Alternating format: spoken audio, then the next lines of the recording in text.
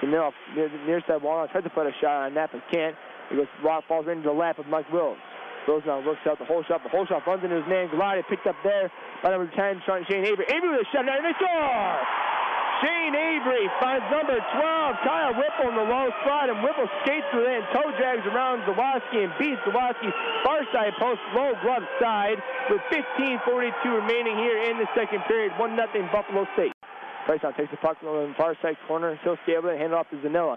So this one move there Turgeon. Turgeon, he leaves it for his man, and Price, Price, the shot, and they score! Loose puck picked out in front with a beautiful no-look pass from Price to one Bengals. He buried, the Bengals buried the chance with a power play goal with a 2-0 advantage with 4.19 remaining here in the second period. It looks like to be the captain Zanilla getting the last shot on net on that one to give the Bengals a 2-0 lead. Out, takes the turnover and tries to pitch outside the zone and can't, but the Bengals control it. Gets it there by Price. Price near side going. So center pass down in front. Turns by one, they score! Taylor McGraw picked up the loose change once again and buries it behind Zawoski blocker side for another power play goal.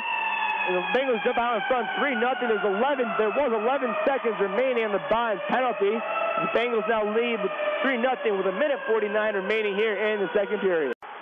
Faceoff's won by the Bengals. They cleared out, taking away by Turgeon. Turgeon walks in the breakaway, puts a shot on net, and he scores! Sam Turgeon breakaway speed, walks in on Zawoski and buries it behind the freshman goaltender high blocker side. As the Bengals now have four unanswered goals and three second period goals here.